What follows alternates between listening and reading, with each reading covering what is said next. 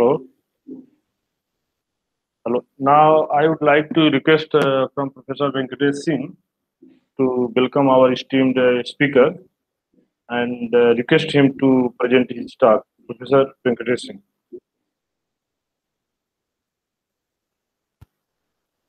Can't hear you. Yes.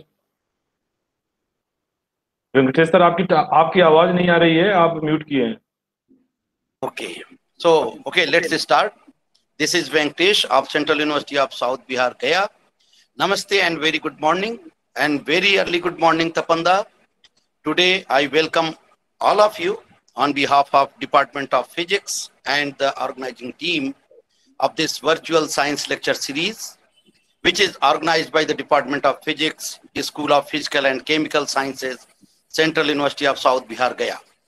I would like to thank all the online participants for showing their interest and taking part in the eighth lecture of this series. Today, we have the pleasure of having none other than a world-renowned scientist, high energy heavy ion expert, my senior, my very old friend, and my big brother, Dr. Tapan Nayak from European Organization for Nuclear Research, CERN, Geneva, Switzerland with us. Let us first welcome him from bottom of my heart.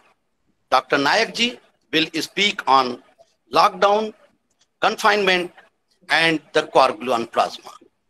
This lecture would be beautiful blend of physics, philosophy, and experiment, and should attract huge attention from the knowledge-loving, technologically oriented physics student and young faculties of our country. I welcome you, Dr. Tapan Nayak ji, to this science lecture series. Dr. Nayak is physicist and former deputy spokesperson of ALICE collaboration at CERN, Geneva, and visiting professor, National Institute of Science, Education and Research, NISER, Bhubaneswar. Dr. Nayak is a fellow of two most prestigious science academia of our country. He earned his doctorate degree from Michigan State University, East Lansing, Michigan State, USA, in year 1920. 1990. He was guest scientist at GSI Darmstadt, Germany, and Geneva both. Scientific officer at Variable Energy Cyclotron Center, Kolkata, and visiting professor at Homi Bhabha National Institute, HBNI, Mumbai. Dr. Nayak is recipient of various national and international scientific awards. Dr. Nayak he is well traveled and well known figure in his area of research. Again, I welcome you, Dr. Nayak, and we are really grateful to you for accepting our request of delivering today's lecture, sharing time with us from your busy schedule. As I have always mentioned before each lecture, that our speakers are internationally renowned and real gem of their area. Therefore, they do not need to go through this his long list of achievements during his introduction. However, for curious participants, we have already uploaded his very short CV on the Science Lecture Series website and Facebook. With these few words, I would like to humbly request Dr. Tapan Nayak ji, please deliver his talk on lockdown, confinement, and the quark-gluon plasma. Dr. Tapan Nayak please deliver your lecture. Good morning to all of you. And uh, thank you very much, uh, Venkatesh, uh, Professor Venkatesh Singh, for this uh, very warm um, welcome to me and then um, inviting me for this lecture series. I'm very happy that you are organizing this lecture series and which at this time, especially during this lockdown period. And um, uh, which is extremely good for the students and for the faculties and for all of us. So I also attended some of your lectures before, and today I have the pleasure to present uh, my talk, and uh, which will be more like a discussion. So, and I'll be telling some stories. So let me just put the first slide here. Uh, you, I hope you can hear me well. So we start now. So I chose a topic which is um, uh, starting with the lockdown, the word lockdown, and you don't want to know another lockdown because this is going on in our life for last uh, close to four months or five months. Uh, the lockdown continuing off and on all over the world. It's a very unusual situation, and for us to stay home and, uh, and get our work done. Last time I saw Professor Venkatesh Singh, I was there in BHU in a school with him with a lot of students, and it was much more exciting to be there in person. But during lockdown, we are all locked down in our own homes, in our own mm, places, and we can't move out. And so it is difficult. So I'll be talking about lockdown in the another world, in our world, in the early universe, then going to deconfinement. Lockdown is like confined. You are confined to your own space, your own home, right? So deconfinement is when you move out when you move out, mix with people, you become deconfined. And then I'll come to something called quark gluon plasma. So I will talk in the context of basically basic ingredients, basic buildings of matter, which you, you must have realized by now. So the, I'll go to the quark sector, quark gluon sector, basically. Just one second. Yes? Bonjour, monsieur. Bonjour. On vient pour faire le. No, I'm a lecture. Pardon. Pas possible maintenant. Vous allez rester longtemps Yeah, après-midi. L'après-midi Oui. On va faire ce matin. Non, non, non. Non, là. non, non, pas possible maintenant. I'm in a lecture, online lecture. Euh, vingt minutes. No, no, pas possible maintenant. Okay. Sorry. So somebody wanted to clean my office. I have to, uh, uh, yeah.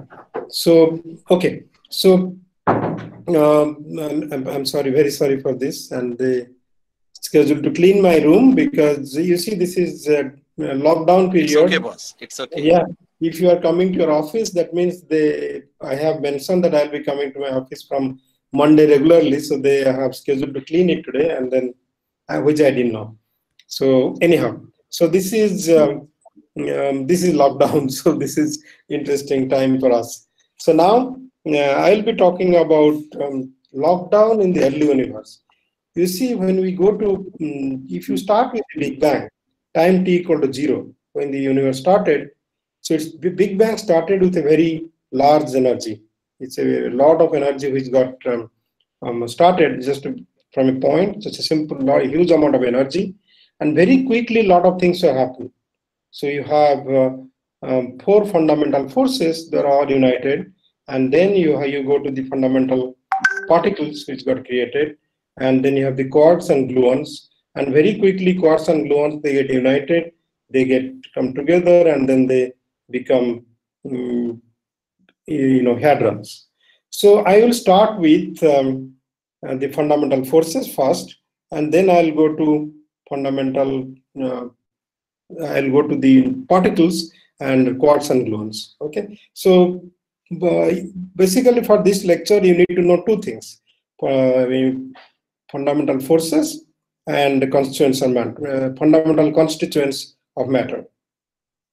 So first is fundamental forces, which are the forces in nature. So you have four fundamental forces in nature. So one is gravity, so gravitational force, which is basically acting between two massive body. Then gravity we all know, we all experience every day. The second one is the weak force. The weak force is basically it is in the nucleus. If you have then example is the beta decay, which the students must be studying in high schools and colleges, and this is weak in nature, short range force, it acts between fundamental particles. Then we go to something called electromagnetic force. Electromagnetic force is the most um, uh, useful for all of us in daily life. So today I could talk to you because of the electromagnetic force. So this electromagnetic force acts between electric or magnetic charges. The stronger force with the long range, it's attractive, it can be attractive or repulsive depending on the, uh, the, the sign of the things you're talking about, positive or negative. Then the last one is called the strong force. The strong force, it holds the atomic nucleus and binds the quarks together. So inside the nucleus, you have the uh, quarks, and the quarks are inside, I mean, they are held together by the strong force. So this is strongest and range force. This is basically attractive. So these are the four fundamental forces. In the beginning of the universe, it was one force, and then slowly, slowly they get uh, um, disintegrated. This they got their own identity, so they became when they um, went to gravity, weak, electromagnetic, and strong force. Uh, you must be hearing about a lot of gravitational force, gravitons, and all that uh, recently, because these other three forces they could be united through um, from Einstein time, and gravity is the only one which was left out. So we're trying to get all the four forces together. Now, next one I go to after the special after the forces, I go to the structure of matter.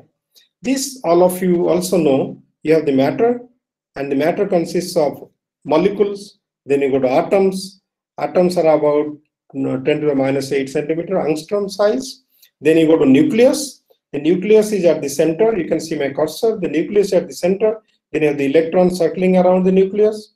And the nucleus consists of neutrons and protons, like this one, neutrons and protons. You can imagine inside the nucleus, you have neutrons and protons, and protons are positively charged particles, and neutrons are zero. How so many positive charged particles can be held together? The strong force. Then, if you go inside the nucleus, you have the or the nucleons, the protons and neutrons, you have the quarks. So you can see the three quarks which is shown here with some blobs here called gluons, which are acting in between the quarks. So quarks are inside the, the neutrons and protons. Quarks are called confined. Quarks are actually the quarks are locked down. So next two, three slides, I'll be spending on the lockdown of the quarks inside the neutrons and protons. Okay. The sizes of the neutrons, protons are 10 to minus 13 centimeter, and the quarks are 10 to minus 18 centimeter. So this lambda equal to h by p, this is the de Broglie relationship. We all know about it.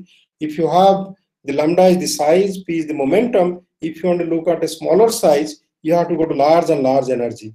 So to see a nucleus, you go to a cyclotron, which exists in many places. Uh, there is a small machine also in BHU. There is a machine in, in Calcutta Cyclotron Center, where I where this is my my place in Calcutta. We have a big cyclotron you can study the nuclear properties, protons, neutrons. But if you want to look at the quarks, you have to go to very, very, very high energy. So that's the idea. Now, this way the discovery happened, you all know about the discovery of a nucleus. Rutherford discovered more than 100 years back, 1911. Then protons discovered 1919. 10 or 12 years after that is neutron by Chadwick. So you see so many things happened in between. It took, took so much time. And then there are pions, muons, kaons, and all that happened. And then 1964, you have the quarks. Quarks are proposed by Gell-Mann and Zweig. Gell-Mann got the Nobel Prize for it in 1969. The quark, this proposal, and the 1968, we had the experiments, deep inelastic scattering experiment in SLAC in USA. They were found the, they discovered the experiment of the quarks. This was by Friedman, Kendall, and Taylor. Um, Venkatesh? Yes, sir. Can I take can I take five five minutes break? I maybe I move out to another office because they're starting a vacuum cleaner. They're cleaning the place. So give me five Okay. minutes. I'll go to another place. Okay. Okay. Thank you. Sure, sure, sure. Okay, thanks.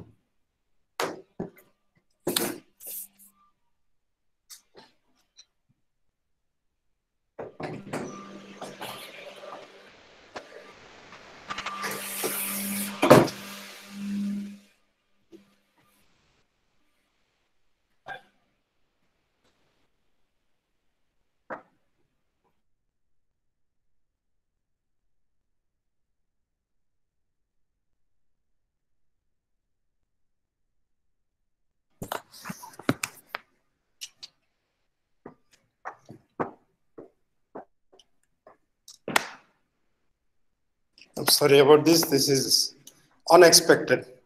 And during lockdown, Yeah. they have the high priority because they Right, have right. to keep.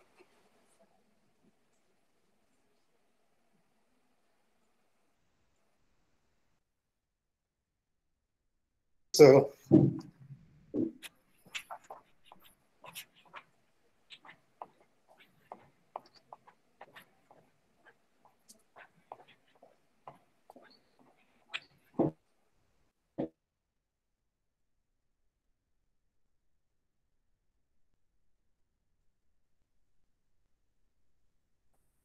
I'll be there in two minutes.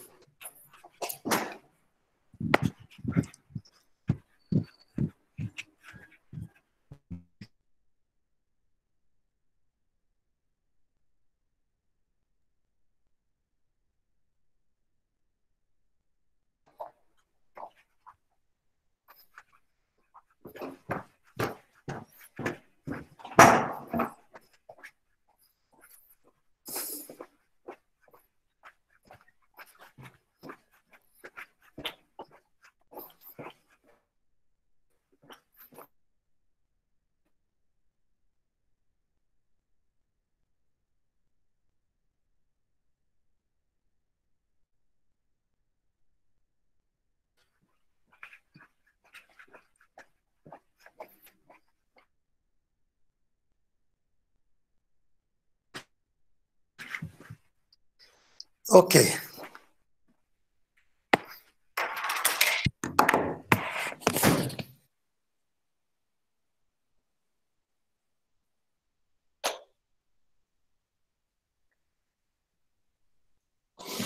Can you still hear me, Venkatesh? yeah, yeah, perfectly fine. Okay. I can hear. okay. I'm so sorry. This is very unusual. It's, it's fine. It's So, fine. okay, so I continue. And okay, I continue. You can see my slides uh, hopefully, so I'll continue. So, as I was telling, so you have uh, starting from uh, beginning of the century, last century, you have many things. You have the starting from electrons to protons to neutrons. Then many small, uh, not small, very important discoveries in between with Nobel prizes and all that. 64 quarks proposal by um, Gell-Mann Zweig in 1964. 68, the experimental verification that quarks really exist. The experiment, the way the experiment happened is similar to the Rutherford experiment. You just, we had a uh, higher energy, deep inelastic scattering, electron proton scattering. They showed smaller entities inside the nucleons, which were called quarks. The way the quarks are, so we have quarks. So we have right now, we know about six quarks, six different types of quarks. You have the up quark, down quark, charm quark, strange quark, top and bottom, or truth and beauty. Physicists are very good in naming the particles, uh, fundamental particles. So they give the name quarks, then the up, down, charm, strange, top, bottom. Then the quarks are like fractional charges. You have the electrons, which, uh, which is charge of plus one, uh, minus one, positron plus one. And quarks are fractional. So you have two-third charge for UCT, and then you have the fractional charge for DSB, a minus one-third mm, charge. Then there is another property of the quarks. It's mathematics. These are in, in books. Um, already you can read about it. Quarks come in three colors, not real colors. This is another type of degrees of freedom and a type of quantum number is given to them, red, green, or blue. So red, um, these up, charms, truth, all these quarks can come in any of the colors. And the anti-quarks, antiparticles, like the particles and antiparticles, quarks and antiquarks. So antiquarks are anticolors, like anti-red, anti-green, and anti-blue. So if you mix uh, uh, color red, green, and blue, they become colorless. Like inside a proton, you have three quarks, red, green, and blue, and they so proton is colorless, neutron is colorless. It's like that. It works like that. So what happens is I was talking about lockdown or quark confinement. So inside the protons and neutrons, you have three quarks, two up, one down, red, green, and blue. So proton becomes colorless. Let's call it, yeah, colorless. And neutron also red, green, and blue. One up, two down. So neutron one up is plus one two third, down is minus one third, so it becomes charge zero, proton is charge equal to one. So the quarks are always locked down within the hadrons. The quarks cannot come out. So quarks are confined. This is called confinement. They're completely confined. And the color force, what happens is if you increase the force, let's say you want to increase the force so they can come out, the color force, the, um, the magnitude of the force increases with distance and the energy required to separate them produces another quark and anti-quark pair. So it becomes, again, it's very difficult to separate them. I will have a demonstration about this in next couple of slides, how they're confined and they can't come out. So what happens is no one has seen a free quark because it's extremely difficult to free the, free the quark. So we have seen proton, neutron in our experiments, electrons you know, but a quark has been never seen um, uh, freely. So what happens is this is called confinement. Then there is another thing called asymptotic freedom. Inside the proton neutron, the interaction between quarks and uh, between quarks are very small. So they move almost freely within their house. Imagine this is your lockdown house. Your house is a proton, and you have you, your family living together, up to um, uh, three, three of you. And inside the house, you're free to move around, do anything you like, but you can't come out. So they are completely locked down. Imagine now locking lockdown of our stage is so difficult. Imagine protons uh, within protons and neutrons, quarks are always locked down since the beginning of the universe and they have never been free since then. So this is called lock confinement, then the asymptotic freedom. These three, these two properties of this quantum chromodynamics, it is called, discovered 1973 and 1975. These uh, Gross, Wilczek, and Politzer, they got Nobel Prize in 2004 just for the discovery of asymptotic freedom and deconfinement. Now, if you go beyond so what happens? Let, let me give one small example or demo how it happens. Let's say you have a proton. It's proton which is color neutral. So you have a red, green, and blue. So inside the proton, these three quarks are moving around freely. They're completely freely. They're bouncing back from the walls of the protons. So they're inside. They can't come out. Now imagine this is called color force. Because of the color, this is called color force. Or in QCD, you can have you can write down the expression of the force in a, in a, in a proper way. So you increase the energy, you give huge amount of energy. So what happens? If you give enough energy, it is like a big string, strong color force, so like a big string. So the string you give, so you, can separate them. At some point, what happens, like a tug of war, the string breaks. The string, the, the force is so much that can't hold it, it breaks. When it breaks, a lot of energy. So when the, in a tug of war, two, two guys fall down. So when they, they don't fall down here, this huge amount of energy, it creates another quark and antiquark. So what happens is after within a very short time, this quark or antiquark, they move to different parts. They form again a proton and another meson, let's say pion. Pion is two quarks, so meson, a quark and antiquark, and here you have three quarks. It's very interesting because you can't really separate them. They come out, come back to their own place, and uh, when they're inside, they're free. When they when you try to pull them apart, they create more quark antiquark pair. So they come back again, get locked down in their in their houses. So one of our thought this is called quantum chromodynamics, like quantum electrodynamics, because you study about the electricity magnetism, is quantum chromodynamics. So like the electromagnetic interaction, I talked about four forces. You have the gravity, weak, electromagnetic, and uh, strong. Electromagnetic interaction, you have a positive charge, negative charge. So charge field lines can goes from go from positive to negative like this. And in the color force, in, in the QCD, you have the quarks and the gluons like that. Gluons are mediating like that. So there is a potential which looks like this. So you can uh, write down theories I've written down and the potential and then uh, describe how the quarks are confined and what happens when you try to pull them apart.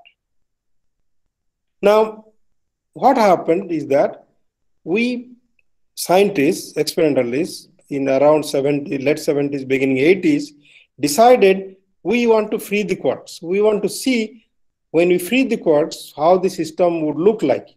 In the beginning of the universe, within a microsecond, the quarks were actually free. Then they became locked down.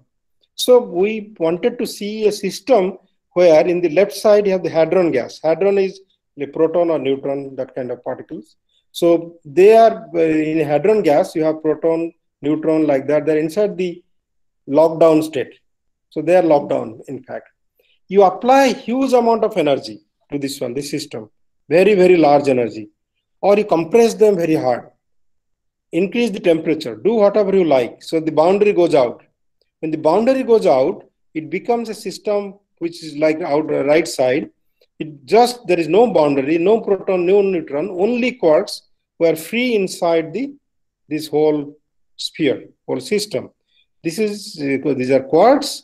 In, in between the mediation is by gluons and it's plasma because they are in the same stage in a similar state throughout. There is no boundary, nothing like that. So this is called a quark gluon plasma, which existed in the beginning of the universe. So we can def define this one. This is the new definition of or our definition of quark gluon plasma. It's a thermally equilibrated system of matter with quarks and gluons, uh, which are deconfined um, from the hadrons, so that color degrees of freedom is evident. This is uh, the main goal of uh, my research, and in India we have a uh, 14 institutes and a big, big uh, involvement in the quark gluon plasma research from the beginning, from the 70s, 80s, both in theory and in experiment. We have been working on that. I'll give an example of this one today. So this is hadron gas on the left side, gluon plasma. This is our goal. So just wanted to illustrate uh, this, uh, this what happens in the beginning of the universe, how everything started, and what is the relevant of relevance of gluon plasma. If you look at the leftmost, uh, this bottom, the point here, this is the Big Bang, time t equal to zero. Time starts from here. Not, I don't know what happened beyond, before that, a lot of theories, a lot of debate going on what happened before the Big Bang. But let's concentrate on time t equal to zero. And this picture, you see the beautiful picture uh, the disk is like this thing. This, if you type Big Bang or NASA or something like that, you'll see a picture like this. This is called cosmic microwave background radiation, CMB, cosmic microwave background radiation, CMBR, which has been experimentally um, uh, determined by telescopes and satellites, and mostly by telescopes. It gives a temperature fluctuation map, a very beautiful map. But from time t equal to zero, you have to go to 380,000 years to see this one. At that point, this, this existed at that point only. And then if you go beyond, we are here right now, today. Today we are at a time which is 13.7 billion years after the Big Bang. Big Bang time t equal to zero. We are at 13.7 billion years after the Big Bang. The size of the Big Bang at t equal to zero was size was zero. Now we have a size of the universe which is 10 to the power 28 centimeter. It's a big universe. And the universe is expanding, still expanding. It's not static yet. So this, when you come out, uh, but a lot of things happens within one minute of the Big Bang only. We see only uh, what we are today after so many years, but within a few microseconds, many things have happened. Let's expand onto this region what happened and the relevance of the gluon plasma. If I expand that, I get a picture like this. I have now rotated this picture. So bottom one is time t equal to zero, the Big Bang. The top one is where we are 13.7 billion years after the Big Bang. In the beginning, time, let's say time, very time equal to zero or 10 to the minus 43 second, the temperature is 10 to the power 19 giga electron volt. One electron volt is about 11,000 degrees Celsius um, or Fahrenheit, it's uh, is similar, or Kelvin, let's say. So then you have the temperature, very high temperature, and the temperature starting to cool down, and we're at a temperature of 2.7 Kelvin, very low temperature of the universe. So this, this is what the temperature is after this time. But in the beginning, it was very hot uh, matter. Grand unification was there. That means all four forces were united. It's called grand unification. And then within 10 to the minus 35 second, Then slowly, slowly, you have the electroweak phase transition. You have the strong force which gets um, quark hadron transition, like that happen. Till a time of one microsecond, microsecond is very quick, very fast. So universe started within a microsecond. Till a microsecond, we had the matter changed to many parts, but in the here around here, you had the quarks and gluons, mostly quarks and gluons. Then within a microsecond or around a microsecond, this temperature was 1 GeV, 1 giga electron volt, and then immediately the um, quark hadron transition took place. Quarks realized that they're very free, which they can't be. So they got together, they formed the hadrons, and the hadrons, um, um, the transition happened at that point. And within few minutes, you have the nucleus formed, the nucleosynthesis happened, and then you have you know, carbon, iron, all the matter formed afterwards. And then 380,000 years after that one, you have the cosmic microwave background radiation, which I told a little bit before, and then continuing till now. So the goal of our research is to look at what happened around a, mi- a microsecond after the Big Bang, how the matter was. Was it a liquid? It, was it a gas?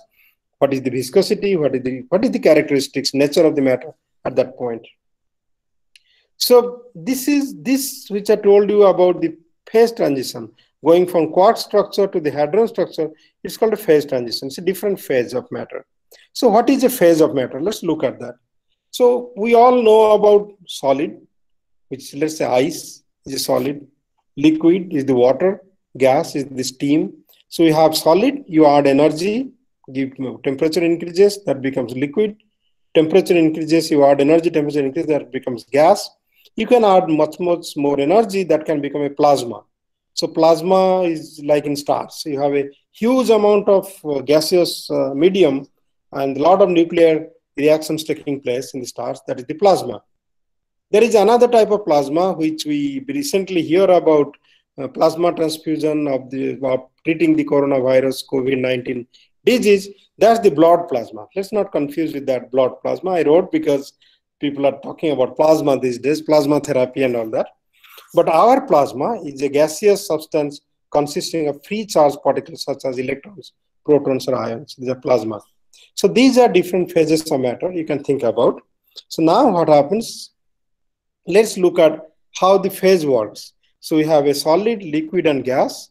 So in water, in water, the phase diagram on the left side, if you can look at, at the you know, atmospheric pressure, you have um, you can go below zero degree temperature in the x axis. in the y axis uh, is the temperature x axis you add energy so let's say you have ice at negative temp uh, temperature uh, low temperature then you add heat add energy temperature goes up. So then becomes something like latent heat here. Then you have a heating of the water at 100 degrees celsius. What happens if you have you take a burner you take a and you heat up water, after 100 degree, the temperature is not increasing. And all the energy which is created, that is making vapors or gas. So that's the at the boiling point. It's, it remains like that for long, long, long time till you do something else to it. So this is the gas or vapor at the boiling point. This is um, the latent heat. And if you, instead of atmospheric pressure, if you increase the pressure, or decrease the pressure, as a function of temperature, many interesting things happen. You have something called a triple point. You, you can reduce the pressure. You go to the mountains, you reduce the pressure, and you will see the water uh, boiling temperature instead of 100 degrees going down and down. And at some temperature, which is let's say 0.01 degrees Celsius, and a low pressure, uh, low pressure, you have something called a triple point. And you will see the ice and the water and the steam, they're existing at the same time. You see all three at the same time. This is called the triple point. Then you increase at very high pressure and very high temperature, you have something called a critical point. Critical point is where this transition, this phase transition from solid to liquid or gas, this is called a fast order phase transition. This is coming from um, here, the latent heat, fast order phase transition. But beyond that, is something called a continuous transition or second order transition, is the critical point. Around that, that time, the first and second order or the continuous transition, there is no distinction between all three. So this is what, this way the phase transition Okay, we can describe the we- this the similar way in terms of our quarks and gluons. So we also make a, a similar phase diagram. We increase the temperature or we increase the energy and try to see what happens to the temperature. In the hadronic matter, we give lot and lot of energy. The temperature increases, increases, increases to some point. Beyond some point, temperature cannot increase anymore because the pions are formed.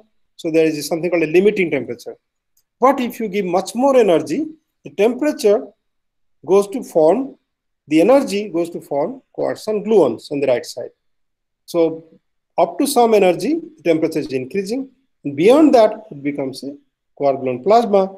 And be much beyond that, you have the Stefan Boltzmann law uh, takes over. So all that you can, you can we can discuss. So this is a phase transition in the gluon plasma. You have the hadronic matter at low temperature, low energy density, at high temperature, high energy density, you have the quarks and gluons. So this is what our research is. And I can show you a beautiful picture of the phases of the nuclear matter. X-axis is the density, going from zero, very low density to high density matter. Y-axis is the temperature, going from zero degree temperature to very high temperature. Our early universe, beginning of the universe, we started with a very, very high temperature. And then it cooled down to, to where we are right now. We are about here right now. And then you have um, the phase transition. You can, you, can, you can draw the phase diagram like this. Very high density, you have the neutron stars. Very low temperature, high density neutron stars. And beyond that, there are some, some theories, theories to discuss something called color superconductor. And uh, but this is the phase diagram line which we are interested to discover. And be, this is the hadron gas. Beyond this gluon plasma, this phase diagram line from here to here is supposed to be a, phase, is a fast order phase transition. Then here it's a crossover transition. And we, we also have something called a critical point. One of the field of main research for many of us, uh, and personally for me, we, I started with working on the search for the critical point, and we start to see some signature of the critical point in our in our field of research, and uh, uh, this is what we want to discover. There are a lot of experiments which going on all around the world, a lot of facilities to to study this one, and uh, one is called the Large Hadron Collider at CERN. I'll show you some pictures of this one that mimics something which happened in the beginning of the universe, very high temperature, low density matter. Then relativistic heavy collider, uh, collider at Brookhaven National Laboratory that spans a region like this, very broad region to probe the critical point and study the uh, and to find the nature of the matter. In future, in a, in a few years, we have a FAIR facility coming up in Germany, which is going to look at high density matter in this region. And there are many others. There is a facility coming up in Dubna called NICA. There is a facility in Japan. So many facilities coming up. The main thing is that these are very uh, large scale enterprise, very cost a lot of money, a lot of scientific area, uh, scientific uh, time and engineering expertise. So what happens is that not a single country can do it. So most of these experiments are combination of different countries supported by different countries, collaborations and like, like that. Large Hadron Collider is one of the biggest uh, enterprise, which is by more than 100 countries support and uh, they, they make it work here. The lower energy side, there is another critical point, which also looked at uh, uh, Michigan State University when I was looking for my PhD, doing my PhD. We had look, we were looking for this critical point. Then GSI Darmstadt, VECC Calcutta, we are studying this part of the low energy matter, nuclear physics. Now at high energy, we are looking at quarks and gluons. Going beyond, how we create these quarks and gluons. We, have, we need high energy accelerator. As I told you, de Broglie, lambda equal to h by p, you want to look at um, quarks and gluons. So the temperature or the, the sizes of the quarks and gluons are very small. So you need a very, very high energy accelerator to, to, to look for those things. So you have you are accelerating particles from the left and from the right. As a collision happens here. So many particles are getting emitted. So E equal to mc square. When the collision happens, we have a lot of energy, matter gets produced. So what we do, we collide proton-proton, and this is illustration of colliding heavy ion. Heavy means gold or lead, that kind of ion. They collide. When they collide, a lot of energy uh, gets emitted, from the energy particles get emitted. So these things we have in the collider, we collide the particles, then we have the experiments all around to measure what comes out of it. After the measurement, then we can recreate and try to find out what happened at the collision time. Now we know we have discovered the quark gluon plasma. To the year 2000, we the first uh, announcement from CERN from our old experiments of SP at, uh, SPS, W98 experiment from India. We are involved in that one. And uh, then beyond 2004, 2005, the relativistic Heavy Collider RHIC at Brookhaven National Laboratory, they confirmed the formation of the gluon plasma. Now at LHC, we see gluon plasma. C means we, we know there is gluon plasma. We do more and more work with that. We try to understand more and more about it at Large Hadron Collider at CERN Geneva. Okay, I hope things are clear by till now. So I'll go to show few experiments, collider and experiment. The relativistic heavy collider, which is at Brookhaven National Laboratory, it is um, um, it, it is running at 200 GeV per nucleon. So the whole thing starts from a small LINAC, goes to one ring, another ring. So we have two major experiments, PHENIX and STAR. Uh, in the PHENIX experiment, the BHU group uh, Banaras Hindu University and BRC from Bombay have been involved. In the STAR experiment, we have uh, seven or eight uh, institutes, universities uh, from India, which have been involved. These experiments continuing. PHENIX uh, closed some years back. That used to be in the beginning four experiments. Then PHENIX and STAR were running. PHENIX closed. The new form of PHENIX is coming up within a year, but STAR is still taking data to understand the quark plasma much more detail and the critical point. This is one picture of a star experiment in which we put a detector called photon multiplicity detector. You can see the size of the detector we made in India and uh, took it there, took data for several years. Now, now we have decommissioned it and uh, very interesting data, which is we published. Some data are still being analyzed in the STAR experiment. We saw onset of phase transition. Now we are looking at the source for the critical point. Okay, now I come to CERN. This is a picture of uh, CERN from the front gate, main gate. You see a globe here. This is the exhibition ground. And beyond that, um, there are mountains and the airport is beyond that. The tram lines coming coming here. It's a beautiful, interesting place to be uh, for, for experimentalists, for theories, for engineers, for, for anybody. There are 15 to 18,000 people work at CERN and uh, regularly. And um, yeah, these days, because of the lockdown, you don't see so many people or cars. It's very quiet today, especially and because of the weekend and also because of the lockdown. And uh, here, this uh, this this facility is in the border of Switzerland and France, and it's three quarters in France and uh, one quarter in Switzerland, but near Geneva. And so we we are we are bound by Swiss and French laws. CERN is bound by Swiss and French rules. And India became a member, associate member since the year 2017, and from which we got quite a bit of advantage because we can collaborate in a much better way with equal partnership. And also we can get access to all the technology, all the accelerated technology for medical physics, for, for any, uh, any, um, anything like that from, from CERN as, as equal partner. Now, CERN has the Large Hadron Collider. Many of you must have heard about it because this is news for last several years. This, uh, this is the airport. You can see that airport picture. This picture from the top. And the circle you see here, this big circle, this is called the Large Hadron Collider. It is below the ground, 50 to 150 meters below the ground. And it's a accelerator, this largest accelerator in the world, 27 kilometer this tunnel, 27 kilometer tunnel. And the place I'm sitting right now is here in the, in the bottom part. And uh, you can go around and 27 kilometer to see these uh, all four major experiments. The first experiment at point one is called Atlas. The second experiment is called ALICE, where our experiment, me, I am working, many of from India are working, uh, looking for quark gluon plasma, specializing on that one. CMS has a big participation from India as well. LHCb is another experiment. Atlas and CMS, they discovered the Higgs boson, the God particle, people call it popularly. LHCb is looking for matter antimatter symmetry. Why there is not equal amount of matter and antimatter? In the beginning it was there, but why it doesn't exist now? What happened to the antimatter?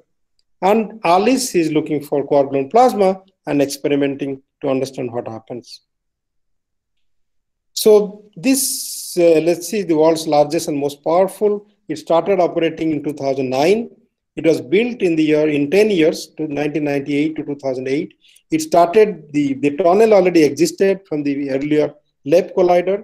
So they use the tunnel, which is 27 kilometers, the big advantage. So because of that, they could build the whole facility in 10 years. It has 10,000 scientists and engineers working on that to make the collider, to make the experiments and uh, theories to understand what is going on over more than 100 countries. And looking for, so hadron, large hadron collider because collides proton-proton and the proton on lead, lead on lead, now recently xenon on xenon, and we have a proposal to collide other ions as well to look for different types of physics. The tunnel, if you go underground, it looks like this. 27 kilometers of tunnel looks like this. The it's a 50 to 150 meter below the ground. Two beams, one beam goes this way, another beam another way. They circulate and they collide at opposite direction. 9,300 magnets. Out of that, 1,800 large superconducting magnets. It's really a, a, proud moment for us because eh, from India we could uh, we participated and made many of the magnets in India and the superconducting magnets and tested and installed. And most of these equipments, electronics, including the small um, jacks on which all the things are sitting, are made in India. So basically, it has the electric field which speeds up the particle, this acceleration, and the magnetic field is bending them. So that's all. Large electric field and large, large magnetic field in the tunnel.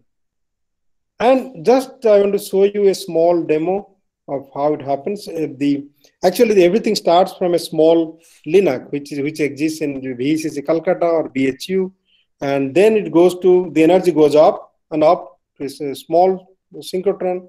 It goes to a large synchrotron SPS, which uh, had a lot of discoveries. W and Z boson discovery got Nobel Prize. Now the Large Hadron Collider, many experiments.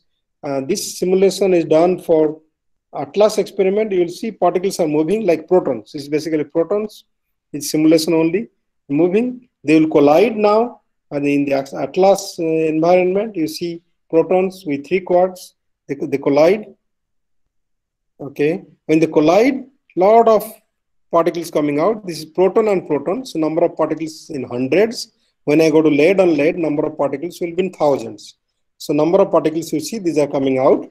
And from there, you select very, very high momentum selective particle when you discover the Higgs boson or the God particle. And they're now doing a lot of experimentation with that, uh, that thing. Okay, so this was a small demo just to show how these things are working.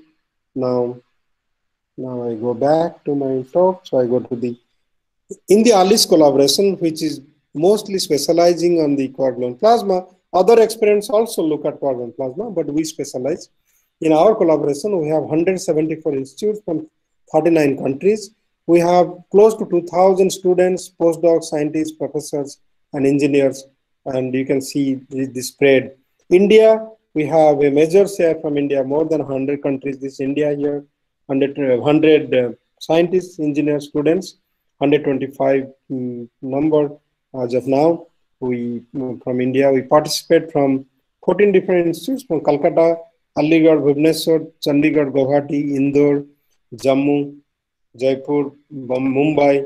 So we have we are funded by DAE and DST, and we have a very large contribution to ALICE, to the physics, and uh, many students graduated and were settled all over the country and doing extremely well. So now this is how the um, ALICE experiment looks like. if you go underground, this is a photograph.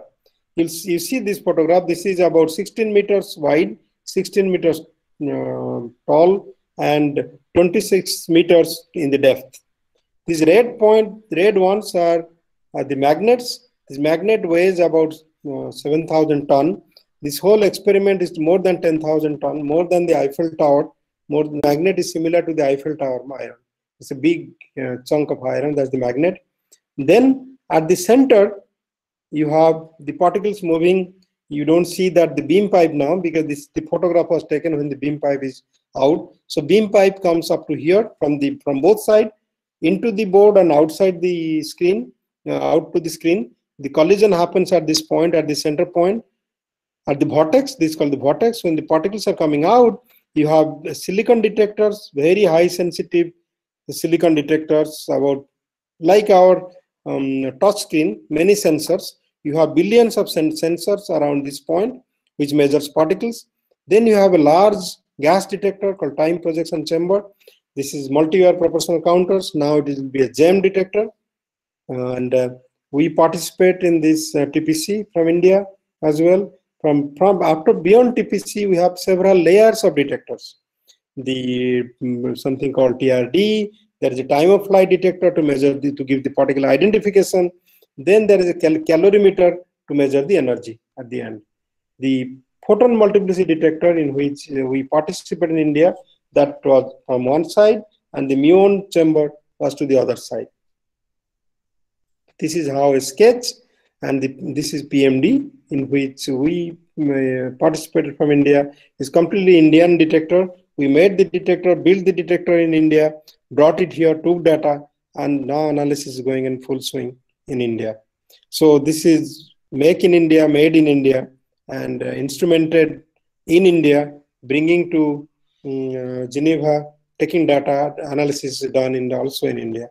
So we participate in all of all the full analysis of everything. We, although we have only one detector, and second detector we we made called muon chamber. We're a part of the muon chamber. The second station is completely made in Aligarh Muslim University and Saha Institute. And uh, PMD is a collaboration of many institutes. VECC Calcutta, IOP, and many other institutes. So in one slide from India, we contributed, we call photon multiplicity detector. You see the size of the detector and some of our collaborators. So during the installation time, on the middle, you will see muon tracking chamber. My colleagues from Saha Institute uh, are posing in front of our detector. This is one quarter of the detector, which is installed um, in the cavern and still taking data and will take data for next 10 years. We, in the process, we contributed heavily to electronics. We made something called a Manas chip. It's, it's made in Saha Institute.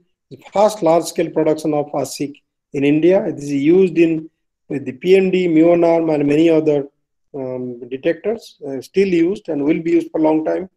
We com we contributed for future, uh, which is coming up now, data acquisition system. The data we take, which is going, we are going to take next year, we will be taking three terabyte of data per second. My laptop here is half a terabyte, but we'll be taking three terabyte per second. How to reduce the data volume how to take uh, store the data. We cannot store three terabyte per second. We can store around 100 GB per second. So that we made something called a unit, which is we, we helped in design from VECC uh, and Calcutta University in uh, in in in India and collaborated at CERN and uh, France, Hungary. So made this one, and we made many parts uh, in in the country, and this is this is working right now. We have a new proposal which is just approved last uh, month, in fact, and this we started working on this in 2008. We made the first proposal to make a silicon tungsten calorimeter. This is completely, I would say, uh, the way we conceived the PMD. This we conceived the silicon tungsten calorimeter in India we made the silicon detectors in Bell, Bangalore, and we made the readout in BRC. We put together in Calcutta VECC and did the uh, test beam in main test beams at CERN.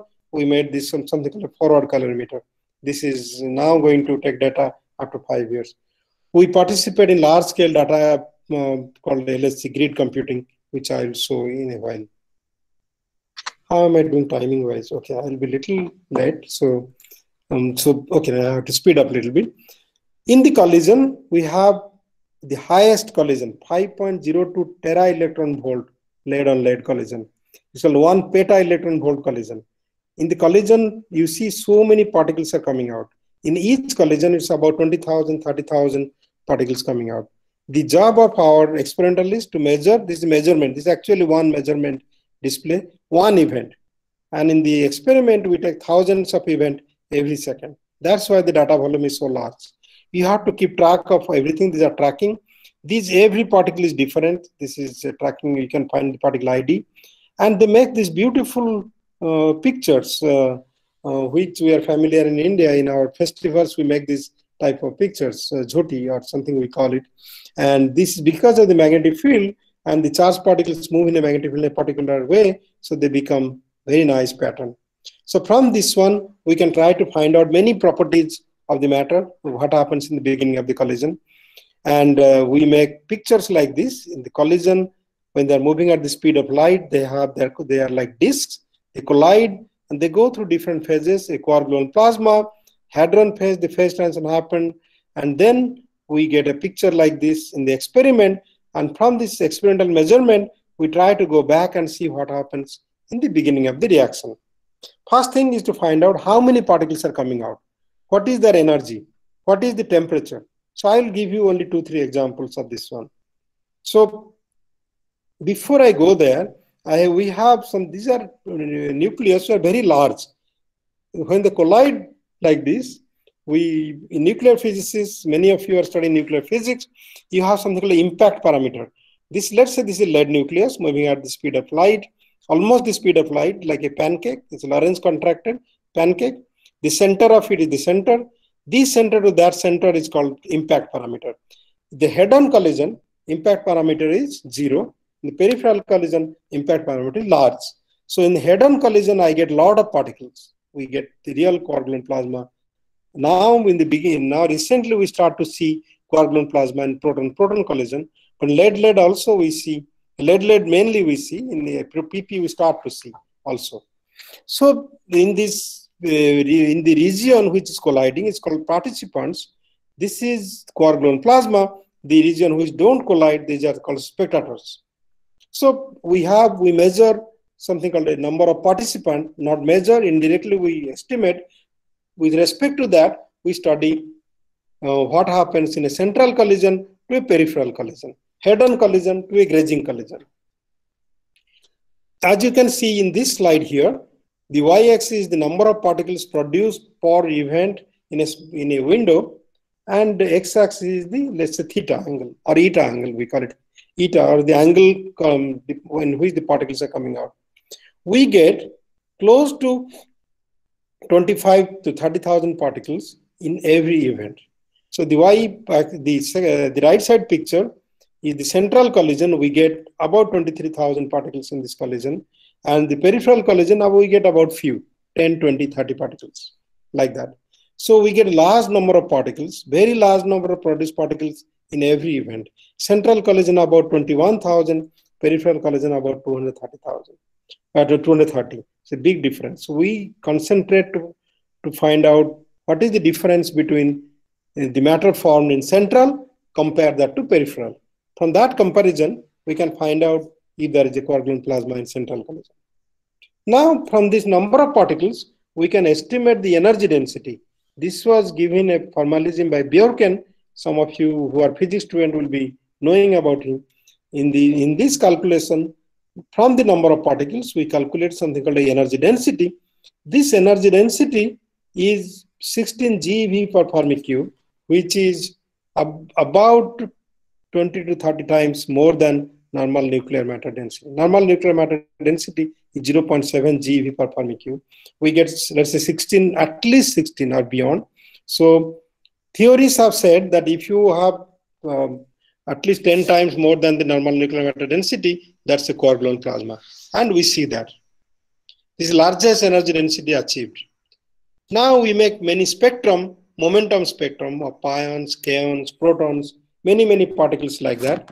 They give you this, this spectra give you many information about the temperature, about the nature of matter which, which came out. Before, I mean, instead of going to the details, let me give you only one example of the spectrum, of the photon spectrum uh, and the quark-gluon plasma temperature. This, from India, we have pioneered to in the theory and in the experiment to measure the photon spectrum and the QGP temperature. This, these are called direct photons, photons coming from the beginning of the reaction. This photon spectrum, if you make, they look like this. And if you, the slope parameter of this one gives the temperature.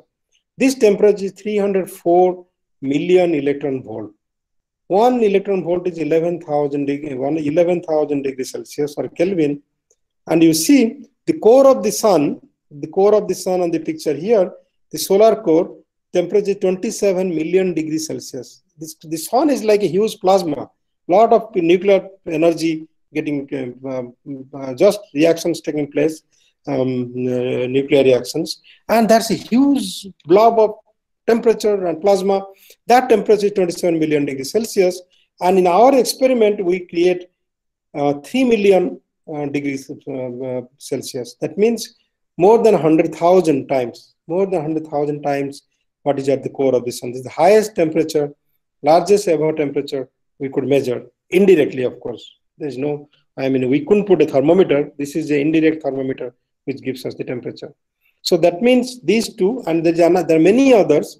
Uh, there is something called a jets. When the, when the particles collide, the jets, the, concentrated particle, um, uh, charge particles, they come out called jets. When they come out on one direction, they come they just directly come out. When they go through the medium, they are suppressed. We measure the suppressed to find out, yes, we have created a high density matter in the in the in the medium, high density medium. So this is called jets. Using these three, four, are many signatures. We know that we have found the quark-gluon plasma, the high density matter, which are there in the beginning of the universe. All these advances in science, engineering, and everything happened.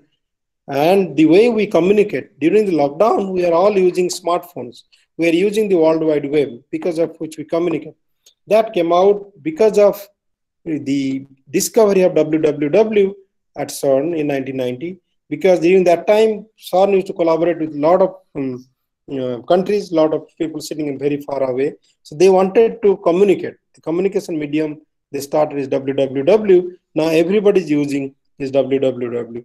So this is one major advantage. Somebody asks you, what are you doing with your taxpayers' money for the you know, fundamental science? You can say that there are a lot of discoveries which you don't know now, which can have a big use in future. So this is what uh, how we can justify our um, research. One is www. The second one, many of you know, don't know.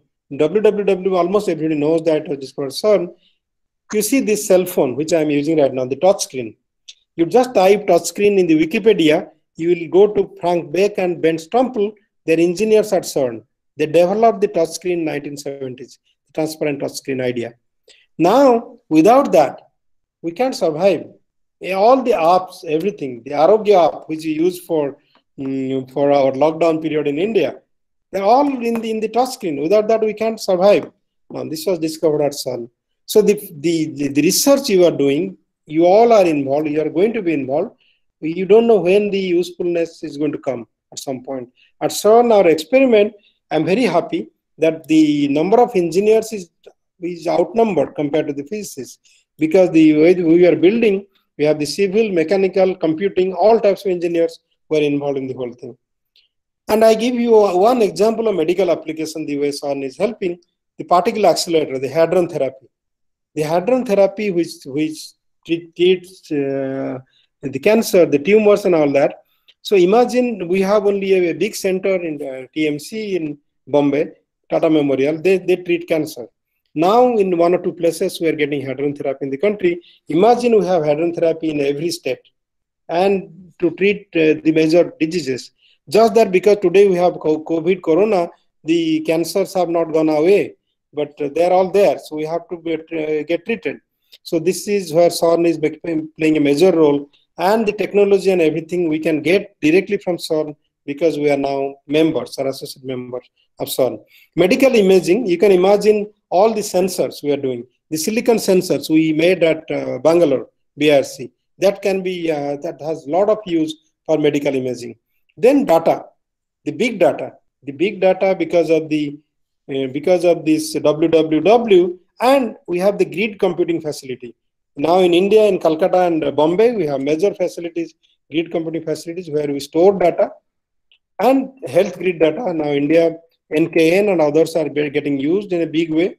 So CERN and uh, not only CERN and major experimental facilities in India and around the world, they are playing a major role in the, for the societal benefits. Just coming to the timeline, how we are doing for the, let's see what more we want to do. We are now in a shutdown period. We are trying to uh, make the detectors much more better. The accelerator, we are upgrading the accelerator. So we are starting next year. We're supposed to start next year, but because of the COVID lockdown, we'll be starting in 2022 with a new new um, run, new idea, new data. Then in 2025, again we shut down for two to three years. We come up with new detectors. In ALICE, we'll be making our FoCal and new ITS, new experiments. Then from 2032, 2033, we have a new detector, not this huge, large, uh, big magnet. We have a new silicon detector detector which is going to come up. Beyond that, I don't know how, many of you know, if you try Future Circular Collider, CERN has come up with a new idea of making 100 kilometer tunnel to understand uh, this physics in much, much more detail. The Higgs physics, the uh, more towards higher energy, and also there is a component of understanding quark-gluon plasma. So that is coming up in 2020 or 2040 or 2045, and there is a plan of 75 years. Plan has been made. This got recent approval in June council meeting of CERN. So I think it is going to go on. So this is a major endeavor. Now, just coming to the end, uh, almost at the end now. So, so I have Big Bang on the on the left side. From Big Bang, things started. We see today's universe here after 13 billions of years after. In between, you have the WMAP. This is the cosmic microwave background, and we try to understand what is going on. We create in the laboratory. We call something a little bang here, and then we're trying to understand also at Large Hadron Collider and RHIC the system which is produced at the, at the little bang, how it compares to the big bang. This is the major field of research and many of uh, me or our students are working on something of fluctuations and trying to understand both ways from both theories point and experimental point. Now, coming to the end. So I thought, I mean, I think I gave you a glimpse of what is going on to make the lockdown a little simpler for you you, we are not the only one which are locked down. The quarks have been locked down in the hadrons since long. So we are in this phase diagram picture, temperature and uh, density. The universe is here and we are locked down within hadrons. You would like to be in quark plasma. You would like to go to uh, the Allahabad or Puri or, or, or, Mumbai or somewhere to be in the beach and in this uh, highly crowded thing. But we can't be there because it's because of the lockdown but we hope to go there very soon. I hope things will be getting uh, better very soon. So we have new facilities coming up in future, as I told you, and the future is, uh, I think it's quite bright because the advances we make, the physics we make and all that. Thank you so much and uh, stay safe, stay well. I hope to get out of this lockdown phase very soon. Thank you again. Thank you. Thank you, sir. Thank you, Tapanda. Now I will request uh, our coordinator of the science lecture series. If you have a question from the audience, please ask to the speaker. Please. Uh, yes, sir. Uh, so there are several questions. So this is first question from uh, Isita Chatterjee. And sir, she is asking uh, uh, what is the significance of color of quark first. And second question is uh, what is the difference between blue up and red up quark. Yeah, this uh, I, I, we can pick up any simple physics book, particle physics book. You will find out uh, the color, or the significance of color. This is basically when you try did not when they started explaining the different uh, physics uh, after the discovery of uh, quarks, they try to understand uh, the properties of the quarks in terms of or the properties of interactions in terms of quark gluons. So many things were not explained properly. The cross section were not explained properly. So they wanted to invoke another uh, degrees of freedom, another quantum number, which is called the color quantum number. So you can write down the Lagrangian or the Hamiltonian in terms of the color, um, another degrees of freedom that was invoked. So then one can mathematically explain and understand the um, the color. So I don't want to get into the details right now, but uh, those are there. Basically, the blue, green, and red. These are physicists' notion of explaining the color degrees of freedom. So there is no real color like that. So it is just invented red, green, and blue because if you put together, they become white or colorless. So that's how it was uh, invented. So just look up any book, you'll be able to pick up this uh, so fundamental uh, physics, why this was required. Okay. And sir, uh, she has another question. Does there exist plasma state of water molecule? Uh, no, as of we know, uh, no, because if you if you go to if you go to the water phase diagram, you have uh, yeah, this is the phase diagram which which has been discovered, which has been understood. We yeah, that's a good question, and we I don't I don't think we have anything like that. You have the electron plasma at very high energy. You have the you have the electron plasma which is there, but not um, from water. You can of course you can go to very very high energy, very high energy. You can make them them electron at some point to go to that stage. But in normal stage, they are in three stages. So next we move to sir another question. Uh, uh, Rishi Roshan Bharadwaj from CSB, and uh, he is asking, uh, please tell in details about anti-quark. Yeah, for to every matter you have the antimatter. You have the electron, which is electron is uh, electron is negative charge. What is the opposite of electron? Is positron. The same mass the same everything, but you have negative charge. Okay, so that is the anti-charge. So that is the antimatter. So the matter you have antimatter. If you matter antimatter together, they will they will have the energy. Energy will you the uh, particles only again. So antimatter is the opposite. So that in a simple form, charge is like here, the fractional charges, if you look at two third, the anti-charge is minus two-thirds. So up quark, up quark is two-thirds. Um, you uh, up and anti-quark of uh, up is minus two-thirds, the charge. So the antiparticle. So yeah, so the antimatter, basically matter and antimatter, they can't exist together. They annihilate uh, each other uh, when they are put together. So matter and antimatter exist in different form, but uh, you have for every quantum number, there can be a, a antiparticle which of different quantum number. For example, red is one of the quantum number of a quark. Anti-quarks can have anticolors like anti-red. So these are all mathematically you can write down the all the formula and all that. Next we move to another question uh, from Vivek Kumar from CSB. So he is asking uh, how quark-gluon plasma reacts to strong magnetic fields when they got created. Okay, so this is a very interesting question, and uh, we are still working on that. This is very recent uh, development in our field about uh, hmm, the. It, in fact, uh, they they react to the magnetic field because you have the quark-gluon plasma, which are charged basically you have a lot of charge. You have the quarks uh, which are charged particles, yeah, fractional charge particles. And if you put a magnetic field, very high magnetic field, of course they will react to the magnetic field. So recently we have published papers where we have, uh, I mean, theories have been talking about the effect of magnetic field for several years, but in experiment recently, what you see when you have the two highly charged particles that are colliding, or their uh, grazing collision, peripheral collision, which creates large electric field and large magnetic field.